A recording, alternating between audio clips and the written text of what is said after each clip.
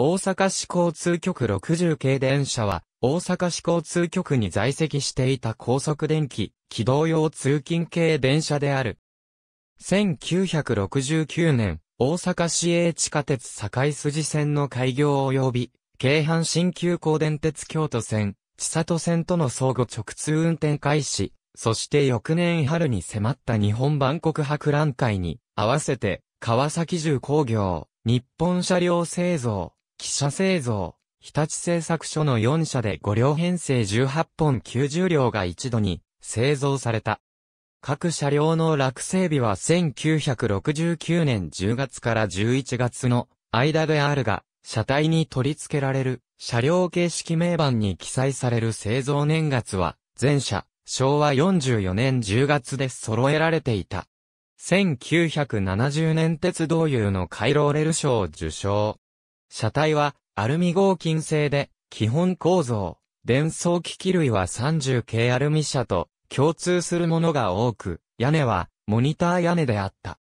天井近くまで高さのある窓ガラスとその内側に行き先表示器や微灯を収めた当時としては非常に斬新な全面デザインであり、後年の小田急9000系電車などにも多大な影響を与えた。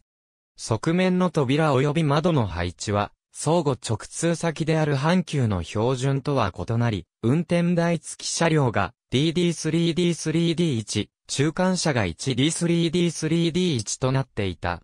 ローレル賞受賞後は6001.6501などの客室内乗務員室扉上にローレル賞受賞記念プレートが取り付けられていた。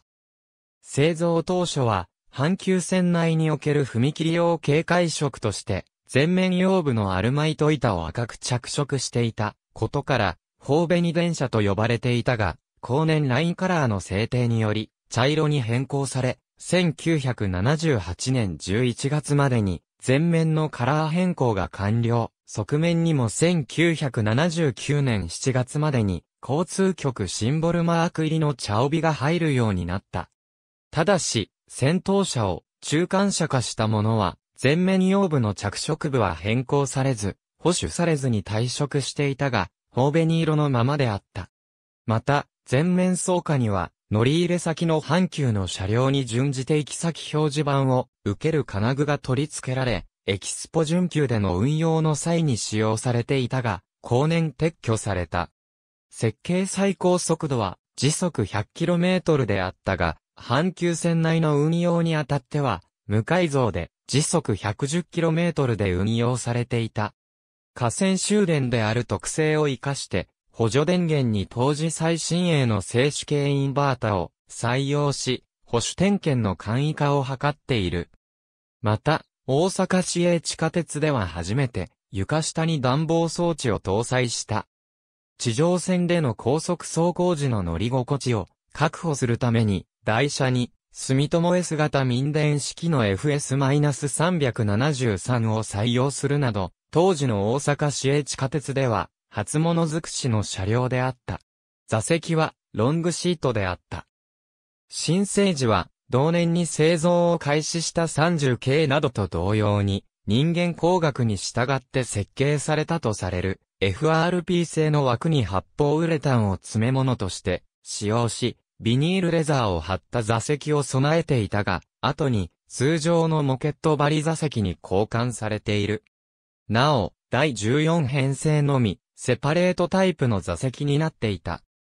天井には、ファンデリアが、運転台付き車両は7機、中間車は8機設置された。なお、1990年代に内装更新が実施された編成は、化粧板を白系に張り替え、座席を66系とほぼ同等のものに交換し、一部車両には車椅子スペースも設置している。当初は5両編成であったが、1979年に6両編成、1993年から8両編成に組み替えられた。このため一部戦闘車は運転台を簡易撤去して中間車化されたほか、6両編成への組み替え時に連結された付随車は、大半が電動車から電装解除された車両である。これらの6両編成化及び8両編成化はすべて、編成を組み替えて行っており、増結車両の追加新造は行っていない。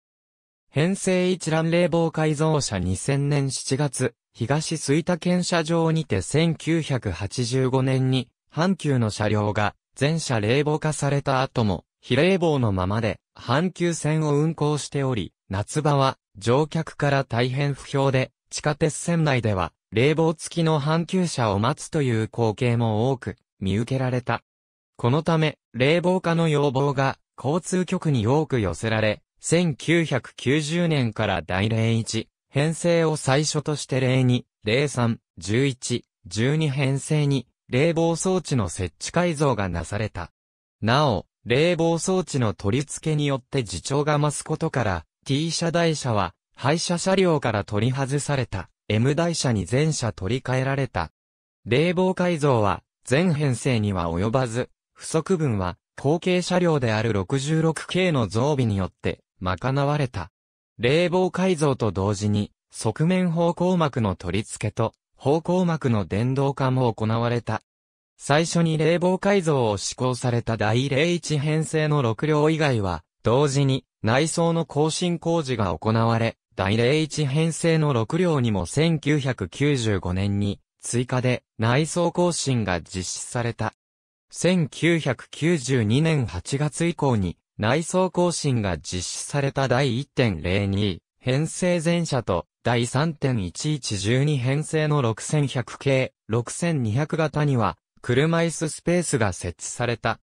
6003回6011回6012回のうち6100型と6200系以外の各6両は廃車まで車椅子スペースは設置されなかった。また、4つ橋専用や谷町専用の30、軽リニューアル車では、側面の帯が白帯の入ったものとなり、全体に連続して調布され、大阪市営地下鉄のマークも1番ドアと4番ドアの内側に移設されていたが、60K は新帯に変更されず、廃車まで球体のままであった。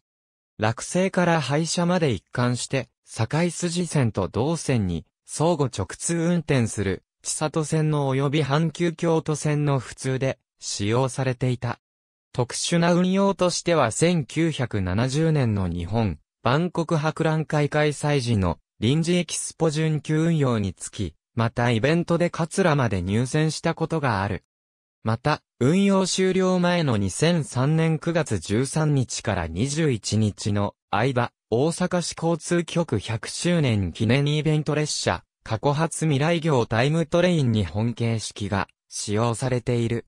66系の導入後、1992年から第0号編成を皮切りに廃車が始まった。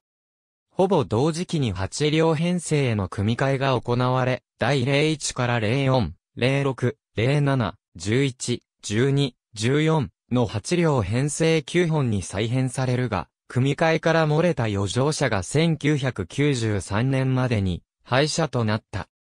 続いて、8両編成となった編成のうち、冷房改造、内装更新が施行されなかった第04、06、07、14編成は1994年から1995年にかけて廃車となり、第01、02、03、11、12編成の冷房改造、内装更新車8両編成5本が残った。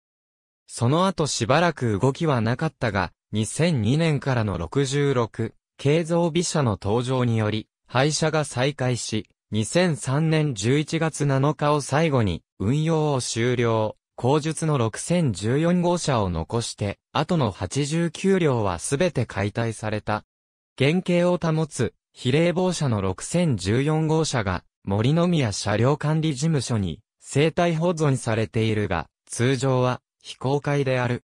2008年3月23日に開催された地下鉄開業75周年記念イベント懐かし車両祭り院森の宮において初めて一般公開され後に登場時の姿に復元された。2015年の公開時には側面ラインカラーは剥がされ正面装下の赤色方向板フックが復元されている。下枠交差式パンタグラフも元のひし形パンタグラフに戻されている。また6001号車に取り付けられていたナンバープレートとローレル賞受賞記念プレートも同書に保管されている書籍雑誌記事。ありがとうございます。